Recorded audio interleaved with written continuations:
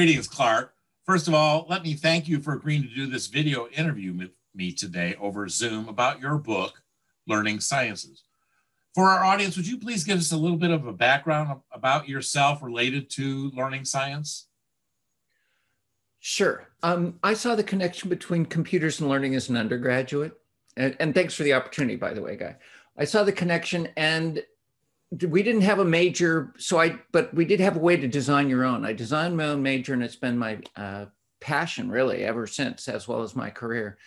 And uh, my first job out of college was designing and programming educational computer games. And I realized we didn't know enough and I wanted to know more. So I went back to get a PhD in what was effectively applied cognitive science. It was in cognitive psychology, but that grounding in the cognitive sciences. But I was still curious about learning and I pursued behavioral learning and social learning. I even looked at machine learning. what can, can we do here? And that curiosity has carried me through. And you know, I was excited when they formed the learning sciences. Uh, you know, in the 80s, they formed the cognitive sciences because they recognized people in philosophy and linguistics and anthropology and psychology were all looking at thinking. They said they need a way to talk to one another. And then in the 90s, that sort of sparked a similar thing with learning science and you know bringing in instructional design and educational psychology and cognitive science together to look at learning and find a way that people weren't doing repeating stuff other people had done in different silos. They now had a way to interchange. And i've just been intrigued by that and tracked that you know since then and then before. So you have a number of books related to learning and development and such. Could you give our audience a rundown of uh, what what you've written in the past um, sure. Uh, the that early experience with games has been sort of a persistent theme, and so that was actually the topic of my first book was how do you design such. And then I've been involved in mobile kind of through a fluke, but I ended up being getting the opportunity to be deeply involved. And so that was the topic of my second book and my third book, because the publisher of my second book had a, one of their subsidiaries did the higher ed thing and they asked for a mobile book for higher ed then something I had wanted to write was talking, looking at L&D and recognizing it was, you know, sort of last century. I thought we need to pull it up, including stuff you talk about, Guy, you know, performance support going beyond just the course. And so I, that, I convinced my publisher to let me put that one out, Revolutionize Learning and Development. And um, I was a wee bit frustrated with my publisher, and ATD came to me and, and they co published the Revolutionized book uh, on the suggestion of my editor. And they came to me and asked for the myths book, a book on learning myths that plague our uh, industry. And I, so I wrote one that sort of cat- characterized 16 myths and five superstitions and 16 what I term misconceptions about learning that we really need to deal with in effective ways. And then they came back to me for this book, the you know Learning Science for Instructional Designers, and um, I similarly thought it was a good idea. It's been a passion ever since you know came together with uh, Julie Dirksen, Will Thalheimer, and Michael Allen to write the Serious e-learning manifesto that sort of talked about what we needed, and we figured we needed a good reference as well. Well, thank you. So um, can you sh- share with us, you know, so who did you write this book for? I've heard you in a in another video interview talk about the title, the subtitle, if you will, um, for who it's for, and you you have some thoughts about maybe it shouldn't have been that. But uh, so who'd you write it for, and what do you hope the takeaways are? Well, so the title you're referring to, it's Learning Science for Instructional Designers. And in retrospect, I regret that. I, I would have been happy with learning science for instructional design because there is a job title largely of instructional designers, and these are people who create training and, and design e-learning. And it's definitely targeted to them, but it's about learning science in general. And if you think about it, there are more people who end up designing learning experience. So, so as coaches, you should be designing stretch assignments for your uh, the people you're coaching, your coachees, I guess, and uh, then you should also be good, providing them useful feedback. So it should be a learning experience. So you're a learning instructional designer in that sense, and teachers, of course, are instructional designers. And there's evidence that you know our education system doesn't have enough uh, background in learning science as well, and even parents um, really should be designing learning experience for their kids. And finally, you know, if you really think about it, at you know, if you listen to the prognostications that change is happening faster and everybody's going to have multiple careers and need to continue le- lifelong learning, then you should be designing your own learning experiences, and you really need to understand as well. So, yeah, eh, as as self-serving as that may sound, I really think everybody should be understanding learning science at least to a basic degree. Well, because we have a lot of, uh, I'll go slightly further. We have a lot of folk beliefs about what is good learning, and it may be, you know, have been a belief that if it looks like school, it's learning, which we actually know isn't a particularly good thing. exactly. Um, and so we really need to make sure that we can distinguish what, you know, a lot of people believe versus what science tells us. Yes, I hope our, our audience, uh, that's one of their takeaways from this is that uh, it's if you're not a instructional designer, but you're involved in learning in an educational context or an enterprise context, but you're not, don't have that job title, this is a book that you should uh, uh get and uh, study. I, I think it's very valuable. I'm, I'm glad that you wrote this. Um, can we walk through the chapters of the book? You have eight chapters and uh, you know we don't want to cannibalize any sales potential on this but uh, we would like to give people an idea about what you're covering and however depth you want to go or, or whatever focus you want but you start off with an introduction to learning science. So can you give us a definition what the heck is learning science? Well, learning science is a suggestion that formation of the society is an interdisciplinary uh, look at how we learn. And it's you know the research that goes into trying to understand what works and what doesn't. So it's it's a combination of learning and applied learning science to to instruction. And it's you know what but it's not myths it's not you know beliefs it's what scientific study has exposed the theories behind it. Uh, you know and as is with all science you you create hypotheses you test them you see what's true, you create the best theories you can, and you continue to look for their predictions and try and violate, you know, validate or violate your theories about how things work. So, chapter two covers from neural to useful. What's that all about? Well, so really, as a brief overview of the whole book, it's about um, the core of our thinking architecture and then there are lots of artifacts that result from this. In this case, I've pulled out the ones that are specific to learning. So I strongly believe that to really understand learning, you have to understand that core information processing cycle from perception, attention, and working memory, trying to get things into long term memory, which is really what learning is about. And then how do we perform? And obviously, it really should be about performance. What can we do after learning experience that we couldn't do before? So that second chapter is specifically that whole information processing cycle. Talk about how the underlying architecture is neural, but that's not the right level at which to design.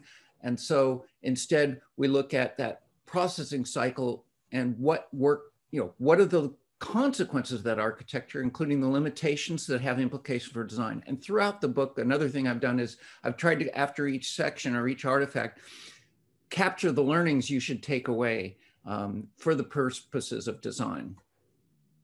Yes. So architectural artifacts, what's that? Um, so there are a number of artifacts that come out of our uh, learning, and um, this includes things that help us and things that hinder us. So the fact that we need mental models and feedback and the, the requirements for practice, there's a whole bunch of elements that just of all the artifacts of our cognitive architecture, these are the ones that influence learning and the ones we should know about and play a role in our ability to design learning experiences that are effective. And so, uh, you know, cognitive load and a whole bunch of interesting and important elements that we need to understand. Thank you. Chapter four covers emergent cognition a lot of the original view, well, we went from the sort of behaviorist view when we started studying scientifically our brain, you know, Ebbinghaus arguably was the first one, and we started being, taking a scientific approach. But behaviorism took over and it sort of said we can't talk about what's happening in the brain. We can only look at stimulus and response. And after that, the cognitive revolution sort of talked about we can create uh, hypotheses and we have mechanisms to now identify some of these structures within the brain and what their implications are. But that ended up being a lot like we're formal logical reasoners and sort of a post-cognitive perspective is that we're not formal logical reasoners. And you can look at behavioral economics or the writing of, you know, Daniel Kahneman's Thinking Fast and Slow talks about all these interesting ways in which we differ from formal logical reasoning. So I tried to capture some of those in this, in that chapter. So it talks about how our thinking is emergent. It's a combination of our experience in the past and the current context, but it's very contextually determined. And then our the old view used to be that all our thinking is in our heads. And you know research has shown that instead a lot of our thinking is out in the world. We use artifacts like spreadsheets and calculators and tools to handle parts of cognition that our brains can't do well alone.